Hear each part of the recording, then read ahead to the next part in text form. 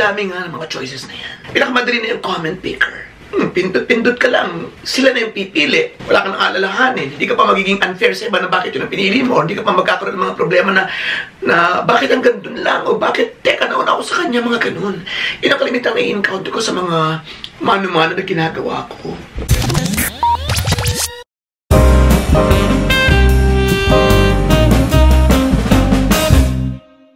Wala kasi ako masyadong tiwala sa mga apps. Kaya nga hanga ako sa iba kong mga kaibigan sa Facebook na ang dami-dami nilang ginagamit na apps.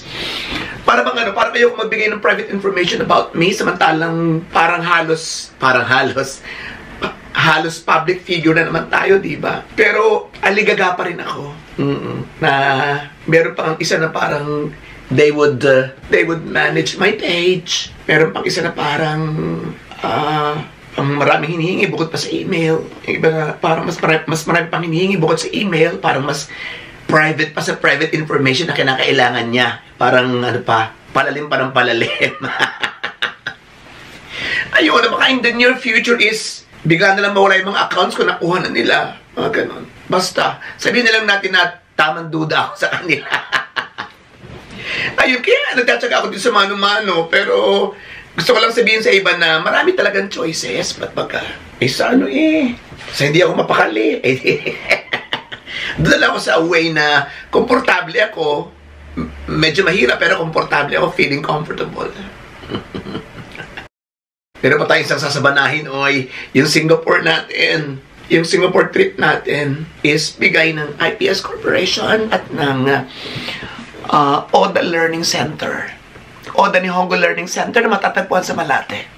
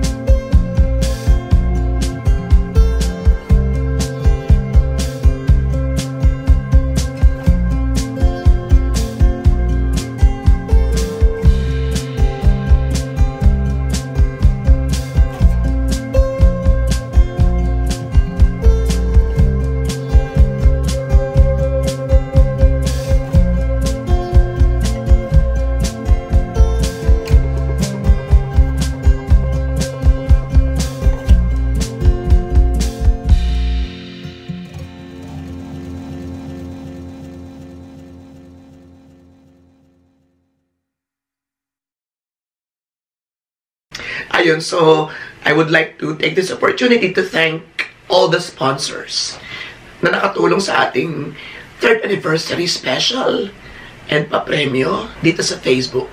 For Keto Products in Manila, contact Kenris Kitchen. Para sa bonggahang online selling ng uh, mga imported bags, contact Jenny Josa.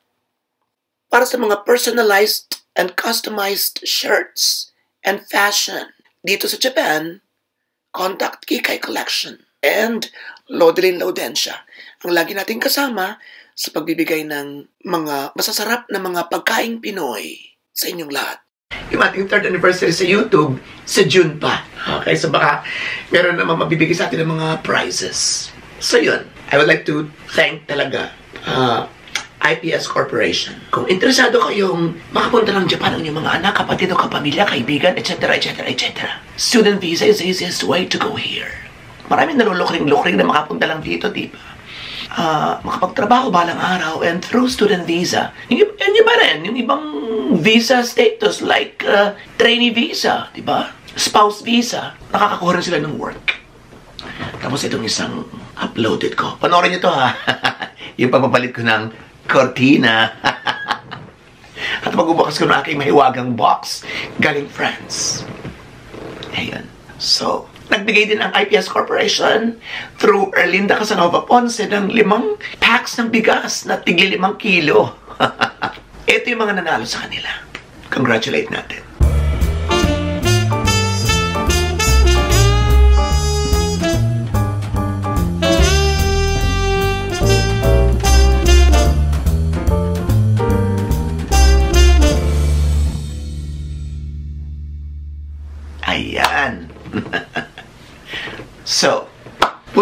Ngayon sa G-Shock natin.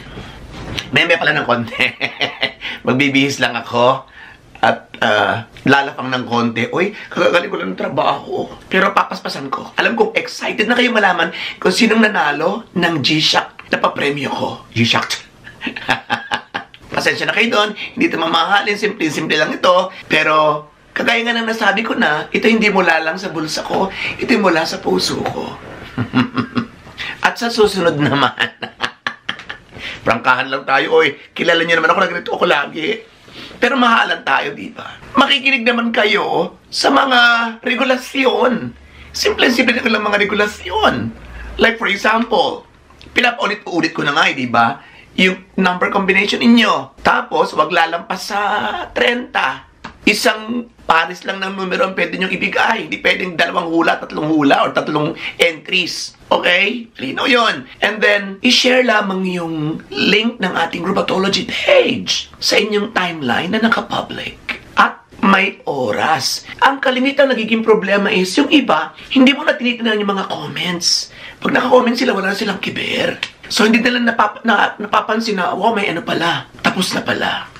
Napapansin mo rin yan, kahit mismo sa live, marami mga tuloy pa rin yung hello, hello, hello, is nakalagay na doon it was live. Was. Ibig sabihin tapos na. Bisa nakakaligtaan na natin yon I don't doubt na hindi naiintindihan ng nakararaming Pilipino yung was and is. Minsan nga lang, nakakaligtaan ang tingnan.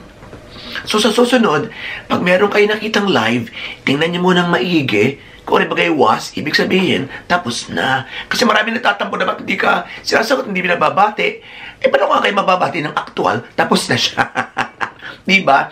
Actually, once lang nangyari, hindi ito talaga, hindi talaga, yung, yung kayo talaga mga taga-pasubaybay ko, mababait. That's why I really, I'm very proud of you. Mm-mm. Wala masyadong gilgilan. In fact, sa loob yata ng tatlong taon na nandito na tayo sa Facebook kulang-kulang tatlong taon sa YouTube, isa o dalawa lang yata talaga yung matigas sa pabalik-balik. Pero, after ng mga ilang messages nila hindi ko pinapansin, tumigil na rin sila. So, I think, kung magkukumpara sa ibang vloggers, sa talagang marami. Makikita naman natin, may meron silang mga video na sinasagot nila yung mga bashers nila. Yung iba pinapakita pa. Tayo so far wala pa. Pero malamang nagawin din natin. Pag merong makulit, diba? Yung na may personal na, sa akin naman is ano, alam ko yung boundary ng bashing at yung imbiyer na lang sa'yo. Pag sinasabi lang na, hoy, mali ang ganito mo, dapat sinabi mo ganito. Ano kang klaseng, ano yan? Mali yan. Hindi, na hindi yan totoo. Hindi bashing yun. Because he's just give, giving his opinion na medyo mainit lang yung ulo. ang bashing sa akin is yung, ano mo, ilong mo, oo, yung mga kapatid mo, yung mga ganun na, guka o guka, ka, ay, yun ang ano, malamang na i-delete na kita sa life ko. yung iba, yung iba, well, yun. Hindi bashing sa aking paningin. So, go! Iba? I have almost 275,000 people who are supporting me all throughout. And all the way. Ba't ko papansinin ng lima o anim o pito? Diba? eh, mas marami tayo. So, sa inyo ko nakasandal kaya walang iwanan.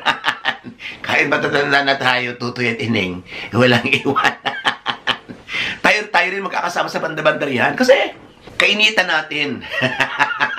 Sinaksik, sinak, siniksik talaga yung sarili. Kainitan natin ng kapanahon na natin ang kainitan ng social media. Yun pala. Okay? So, pagtanda ng YouTube at pagtanda ng Facebook, o habang tumatanda ang Facebook at habang tumatanda ang YouTube at Instagram, nagkakaida din tayo. So magpapakita pa rin tayo hanggang doon. sa banda-banda roon. Kung may mga susunod na bago, pwede pa rin tayo mag-adjust, di ba? Pero I think matagal pa to, YouTube, Facebook, Instagram, matagal yan. Makakasama natin yan habang buhay. Most probably.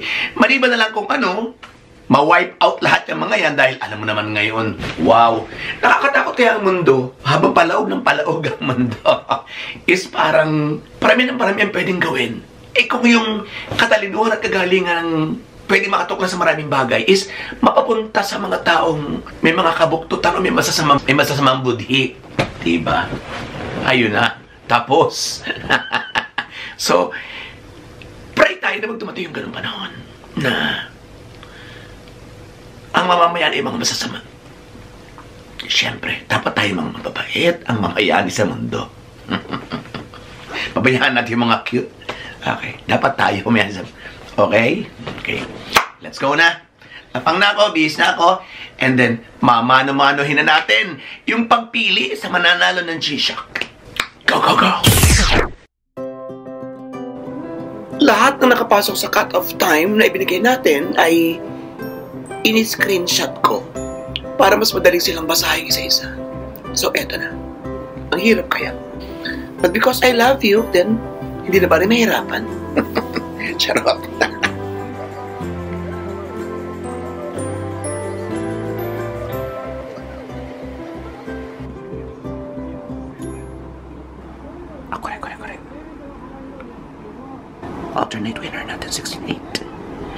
Kasi walang 23-25, so itong may 16-8 or 30-31, sila yung winner.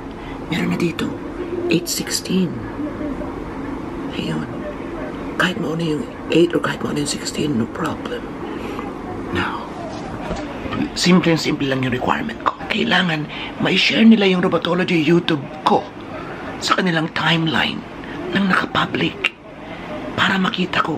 Pag hindi nakapublic, hindi ko rin makikita. Okay? So, tingnan natin. Kung sumunod siya sa regulasyon at nasa timeline niya yung link ng aking Robotology YouTube channel, panalo na siya ng G-Shock. Let's see, let's see, let's see. Nakaredy ng G-Shock. Ah. Ayan. Good luck sa'yo. Pero tingnan muna natin, meron pa ditong ilan. One, two, dalawa pa. Let's see. Wala, wala, wala, wala, wala, wala. 18, 19, 18, 19. Okay. Last. Last, last, last. Okay.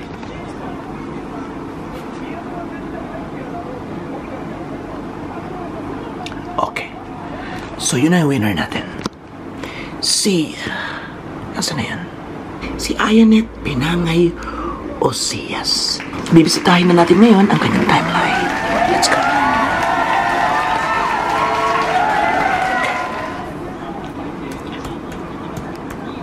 Ayanet Pinangay. Pwede natin tingnan lang doon sa, ano eh, sa list ng mga nag-share. Pero dito na natin tingnan para may iba-iba naman. Luck sa'yo. Ayun! Meron! Panalo siya! Buksan natin. Ayan. Eh, nasaan? Wala na. Eh, wala na. Hala. wala sa timeline niya. Ayun! Okay. So, napanalunan ang G-Shock. Sa uulitin, okay? Huwag kayong kakalas. Thank you. Happy anniversary. Happy third anniversary.